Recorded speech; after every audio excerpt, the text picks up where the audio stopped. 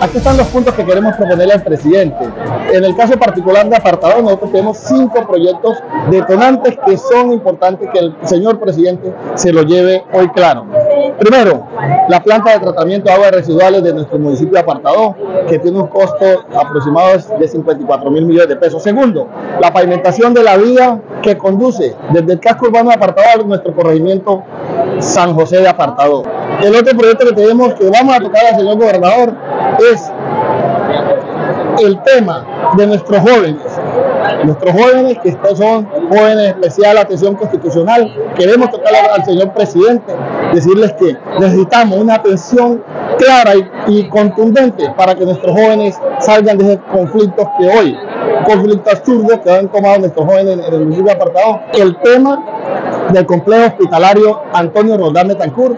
Vamos a plantear a nuestro señor presidente que nosotros queremos que ese hospital, nuestro hospital, sea un hospital universitario, eh, que nos tiren los recursos que faltan para culminar el centro de alto rendimiento, o sea, el coliseo de combate inicialmente y la segunda etapa del centro de, del centro de alto rendimiento.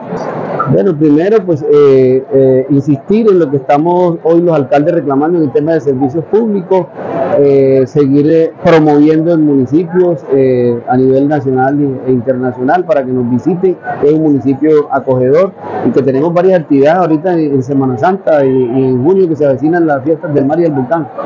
Principalmente el bolete es un problema grave de nuevamente decirles que tenemos problemas de agua potable, saneamiento básico, el tema de vías terciarias que es fundamental y el tema de erosión marino-costera, es un tema bastante grave y además también la seguridad alimentaria, la falta de tierra para nuestros campesinos para producir comida en nuestro municipio.